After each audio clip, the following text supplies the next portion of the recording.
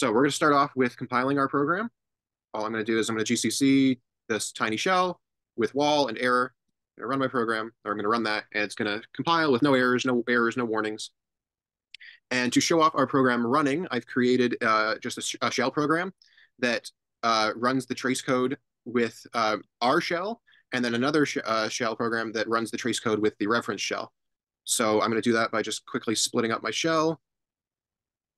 And I'm going to run the THS test shell. There we go.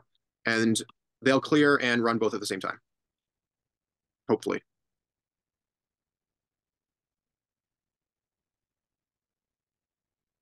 And as you can see with the first few, they are the exact same output as they go down. Uh, they do get a little bit desynced just because of how my computer's running. And running our program, we have created uh, 16 working test cases, with the only one not currently working being number 16, um, running the process, uh, the stop command and the pause command through a different process. Uh, and so the reference shell is finished. This one's finishing up. And the output for 17 is the exact same. Right before is when it uh, changes. So it sends off an error. And that is the only difference between the two shells. This is our code walkthrough portion where we're going to talk about eval, built-in command, do bgfg, wait fg, and then three handlers. And we're going to start with eval. So eval starts by using the helper function parse line to take whatever is in the command line and give and give us what arg, argv and argc. If argc is zero, then we have we don't have anything in the command line, so there's no command, so we just do nothing. Then we'll check if the command that is if the command is a built-in command. If it isn't, then we continue. Well, running the command. First we uh I think we first we block sig child signals. And then uh, start working with imp we start uh checking for input files, input and output redirections, I believe. To check for the input and output redirections, we iterate over the arguments, the command line arguments, and then if we find a less sensible, we do input redirection. But finding taking the name of the file and opening it and then producing an error if it's not found or some other error occurs while trying to open it. And if we find a greater than sign, we do output redirection. And then we open that file, same thing. If there's an issue, it will be less than zero, and we print out an error statement.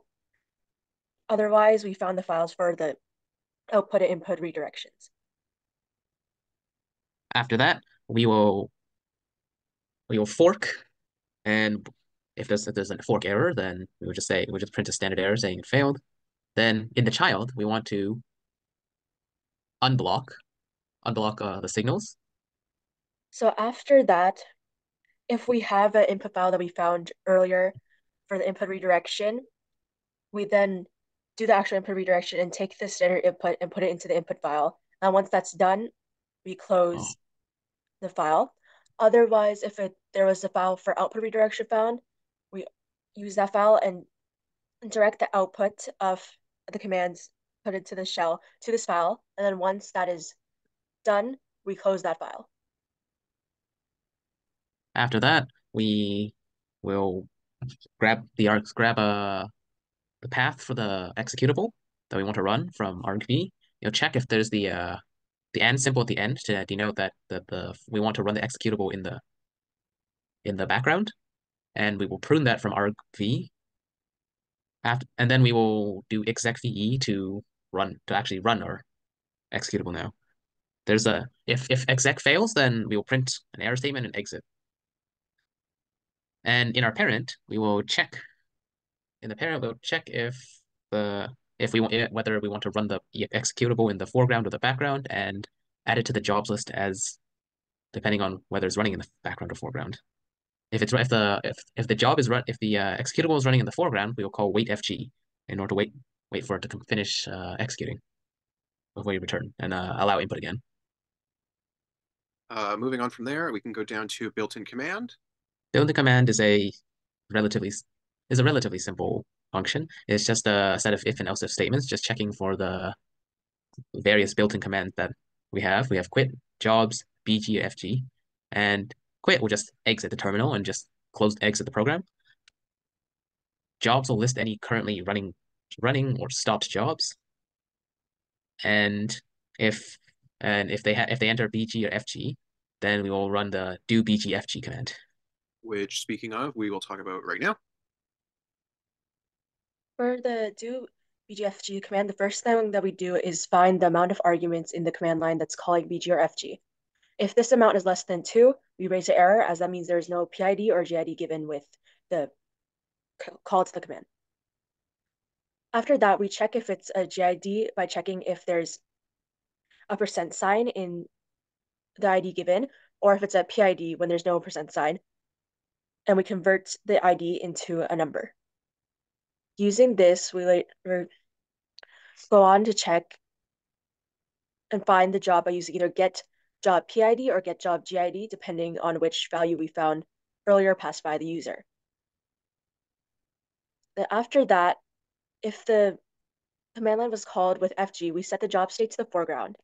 And after that, we must wait for the new foreground process to finish before continuing. Thus, we call wait FG. Otherwise, if it's called with BG, we set the job state to background and then print out information about it. After that, we send the continue signal so that the job continues its execution. After that, if the given JID or PID is not found, we raise errors for each case specifically. So we've talked about uh, wait FG a lot in our uh, eval function and our do BG FG. Looking at the FG function, we have to create two sets and set up a set where um, sig child is blocked and then one empty set. And we start off by blocking sig child and we check when we receive that signal. And if that signal is received, we check if the job is still in the foreground. And if it is, uh, the program continues waiting. And as long as the program is not in the foreground anymore, we can simply unmask or set it back to the empty mask, uh, break the loop, and return to allow the process to keep running.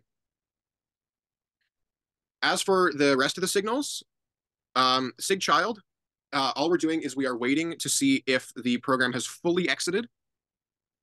And if it has, we delete the job from the job list um, as long as uh, we get the correct uh, PID. As for SIGINT, as if they press Control C and they want to cancel the program entirely, all we do is make sure it's not the uh, parent file, uh, parent process. We kill it with the correct signal. Uh, we print out some standard uh, usage message, and then we delete it from the actual job list, just like sig child. And for stop, we do the same thing by killing it with the stop signal, uh, making sure that it's not a parent. And this time, instead of deleting it, we set the state to stopped so that later on in our do bgfg command, it can be sent back the signal for continue so it can restart processing. And that is all seven of the required functions.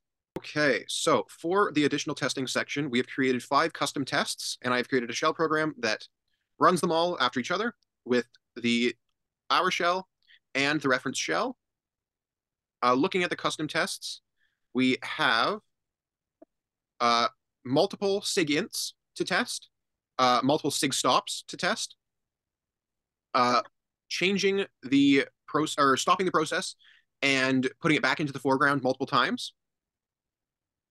We have scenarios where we redirect the output and rewrite it and our last test is uh, with multiple input redirections. First, we're reading from an out file, and then myspin.c. And I will run them both at the same time with the custom tests, ours on the left, and the reference on the right.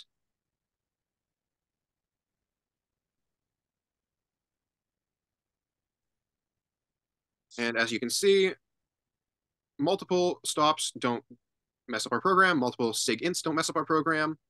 Uh, multiple foreground calls don't mess up our program. Uh, this one is the input redirection right here in out file. You can see if I open up out file, it should say CSC 209 again. And lastly, first we read from out file, which is right here.